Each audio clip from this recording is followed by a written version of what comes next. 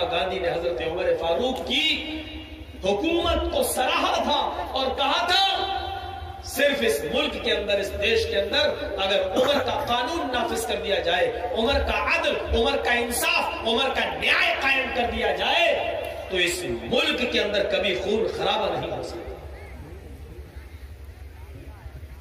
उमर फारूक के अदल पर महात्मा गांधी के ये जुमले शायद आज के हमारे इस मॉडर्न भारत के जिम्मेदार न समझ पाए, क्योंकि हमने उमर फारूक के इन जुमलों को महात्मा गांधी से जोड़ा है।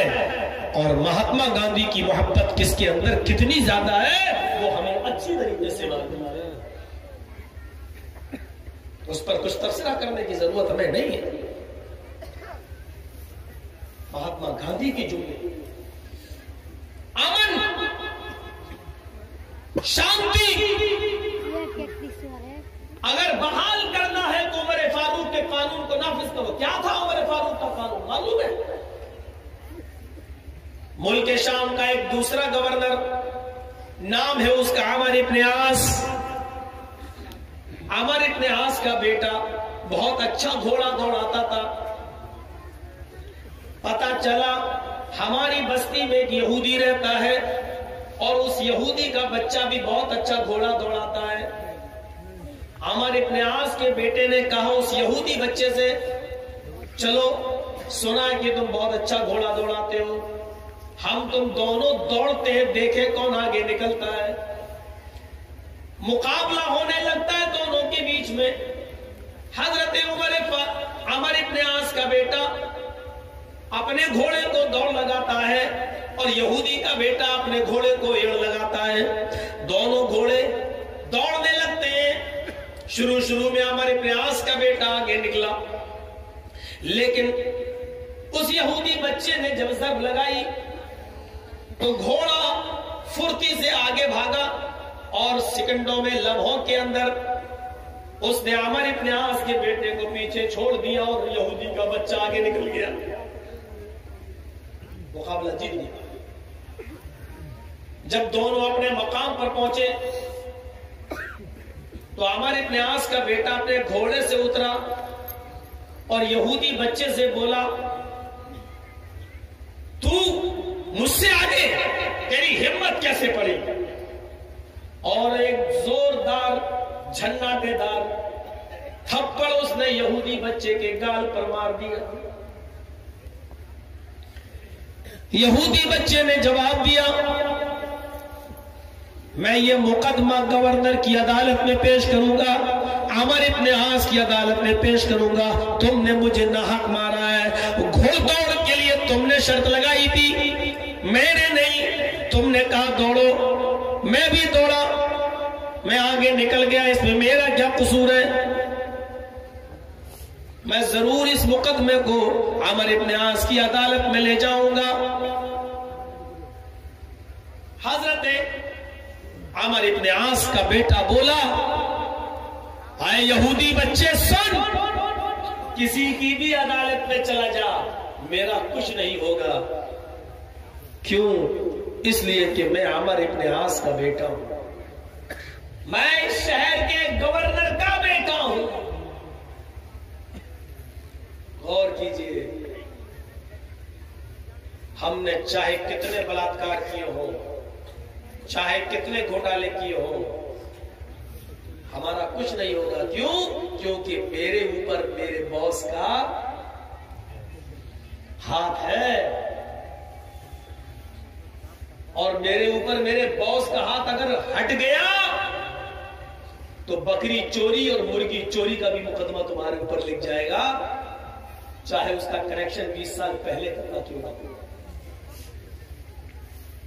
क्यों? क्योंकि मेरे बॉस का हाथ मेरे ऊपर से, मेरा बॉस पावरफुल है, मेरा बॉस ताकतवर है। हज़रत अमर इब्ने आस के बेटे ने यही गेम खेला।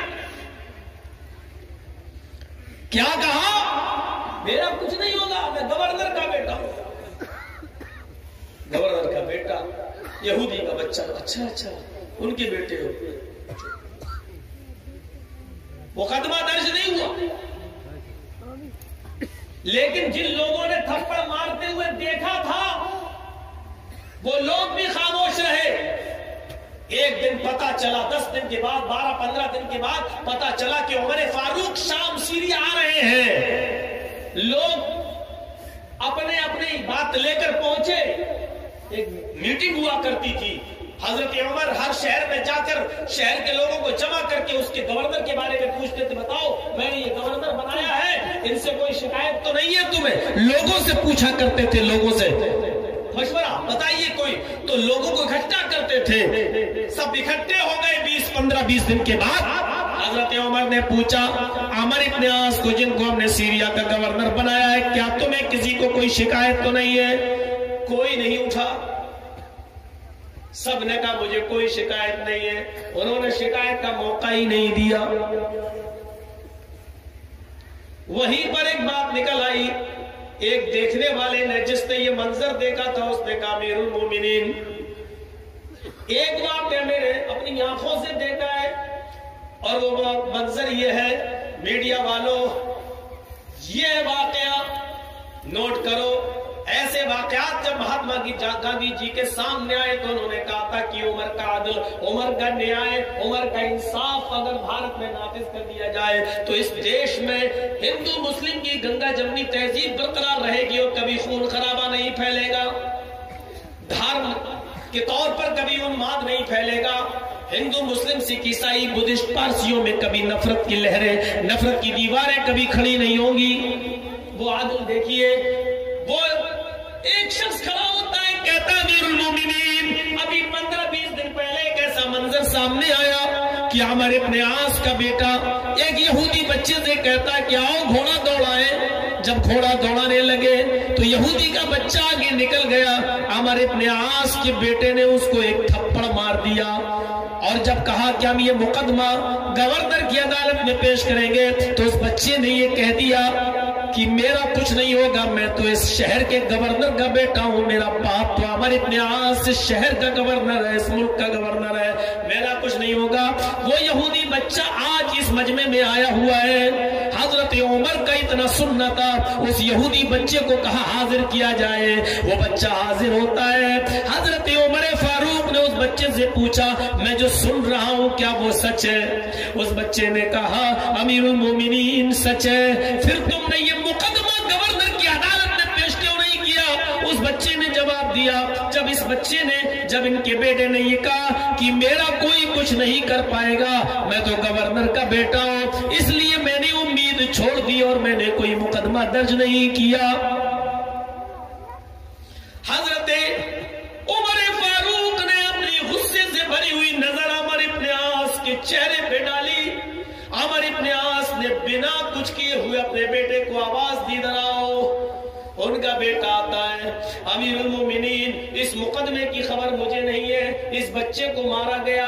ये खबर मुझे नहीं है। अगर मुझे मालूम होता तो मैं अपने इस बच्चे से इसका इंतकाम ज़रूर दिलवा देता। लेकिन मेरे पास ये खबर ही नहीं पहुँची। इसलिए इसमें मेरा क्या कसूर है? अब आज पता चला है, मैंने अपने बेटे को आपके सामने पेश कर दिया है। जो भी सजा बनती है इस बच्चे को दी जाए। हज़रत उमर फारूक ने कहा, उठो, यहूदी बच्चे से कहा, उठो। जितनी ज़ोर से इसने तुम्हारे चेहरे पर थप्पड़ मारा, अपना हाथ उठाओ और उतनी ज़ोर से हमारे न्यास के बेटे को थप्पड़ मारो। वो यहूदी बच्चा आगे बढ़ता है और उसने अपना जोरदार झन्नाटेदार थप्पड़ अमर इब्न के बेटे के गाल पर मार दिया। अमर इब्न के बेटे को थप्पड़ पड़ गया। हज़रत उमर ने कहा, यहूदी बच्चे, तुम इधर जाओ। जहाँ से उठ कर आए हो, अपनी जगह पर जाओ। अमर अपने आस के बेटे से कहा, तुम्हारा इंतकाम पूरा हो गया है। तुम भी जहाँ से उठकर आए हो, वहीं बैठ जाओ। फिर अपने गुलाम से कहा, इधर उठो। गुलाम उठा, फरमाया, अमर अपने आस, इधर आओ। मुल्क शाम के गवर्नर को कहा, इधर आओ। मुल्क शाम का गवर्नर उमर फारूक के सामने खड़ा है। आपने अमीर ने अपने गुलाम कहा जो उनके साथ आया था। एक जोरदार थप्पड़ हमारे आस के चेहरे पर भी मारो। गवर्नर उस गुलाम ने हुक्म की तामील की और जोरदार एक थप्पड़ अमर इब्ने आस के गाल पर दिया। अमर इब्ने आस ने कहा मोमिनीन, यहूदी बच्चे को बुलाना, मेरे बच्चे को बुलाना समझ में आता है। यहूदी बच्चे से मेरे गाल पर थप्पड़ पड़वाना, ये अदल इंसाफ का तकाजा था, समझ में आता है। लेकिन मेरा क्या कसूर था? मेरे गाल पर भरे मजमे में थप्पड़ क्यों मारा गया? मेरा कसूर क्या था? हज़रत उमर ने कहा, अया अमर इब्ने आस, तेरा कसूर ये था कि तूने अपने बच्चे को सही तरबियत नहीं दी। तेरा कसूर ये था कि तूने अपने बच्चे को सही शिक्षा नहीं दी। अगर तूने अपने बच्चे को सही तालीम दी होती, इस्लाम में कोई छोटा बड़ा नहीं। अगर ये पढ़ाया होता तो तेरा बेटा यहूदी बच्चे से ये नहीं कहता कि मेरा बाप इस शहर का गवर्नर है, मेरा कुछ नहीं होगा। ये थप्पड़ इसलिए दिया क्योंकि तूने अपने बेटे को सही तरबियत नहीं दी। अब आज के बाद तुम अपने बेटे को सही तरबियत दोगे और ये तालीम दोगे कि इस्लाम छोटे और बड़े के फ़र्क को मिटाता है। इस्लाम हिंदू, मुस्लिम, सिख, ईसाई के फ़र्क को मिटाता है। इस्लाम मज़हब के बुनियादों पर किसी के साथ पक्षपात नहीं करता है। इस्लाम छोटा और बड़ा नहीं देखता है। अदल का तकाजा ये था कि उसी वक्त अगर आपके बेटे ने ये नहीं कहा होता तो यहूदी बच्चा ज़रूर मुकदमा दायर करता। लेकिन जब देखा कि मेरे शहर का गवर्नर इस बच्चे का बाप है और ये लड़का कह रहा, मेरा कुछ नहीं होगा। इसका मतलब लड़के के अंदर ये ये आना और तुम्हारे गवर्नर होने की का वहम गुमान कैसे उसके दिमाग पे आ गया इसीलिए तो उसकी हिम्मत पड़ी अगर उसको होता कि मेरा बाप अदलो इंसाफ करेगा तो तुम्हारा यहूदी, तुम्हारा बेटा उस यहूदी बच्चे को थप्पड़ नहीं नहीं नहीं नहीं नहीं महात्मा गांधी ने जब इन वाकयात को हज़रत उमर फारूक की ज़िंदगी और सीरत के वाकयात को पढ़ा तो कहने पर मजबूर हो गए, अगर ये अदल, ये इंसाफ अगर भारत में कायम हो जाए तो खून खराबा सवाल ही पैदा